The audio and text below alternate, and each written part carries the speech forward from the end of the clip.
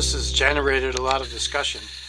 As I'm sitting here in the trailer looking out, there it is. That's where I'm going for lunch tomorrow.